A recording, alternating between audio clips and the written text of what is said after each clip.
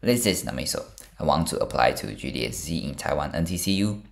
I will separate this video into two parts. The first part is English version and the second part is Chinese version. Because I'm not a native English speaker, presenting in Chinese makes my ideas more clear.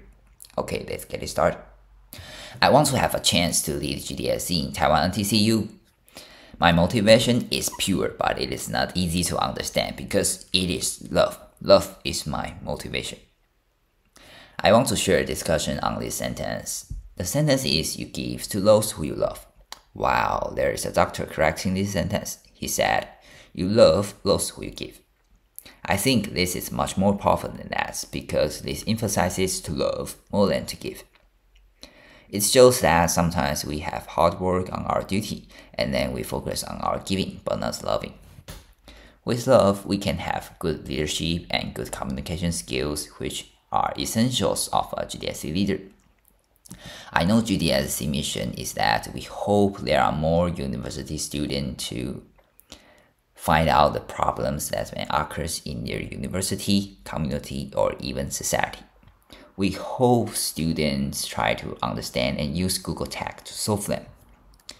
If I become GDSC leader, I will try my best to deliver the mission to my community. In the next term, I will try my best to plan and prepare the activities with the learning points of Flutter technique to bring lifelong vision to my community. Thanks for listening. 我想申请上 GDSC 台湾 NTCU 的 leader。我的动机很简单，就是因为爱。 我觉得爱它是一个很特别的词，它可以解释很多事情，像是为什么我要申请 GDSC 的 leader。我之前是一个 ICT 然后也参加过一场 Teach for Taiwan 跟 Google 合办的领导力论坛。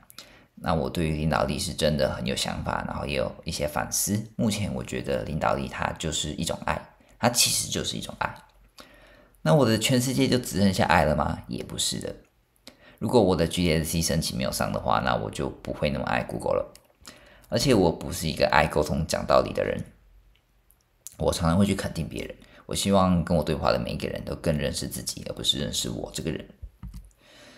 然后我知道 GDSC 它的使命是希望大学生可以多理解自己的社群跟社会，然后多发现一些社社群跟社会的潜在问题，试图用 Google Tag 去解决它们。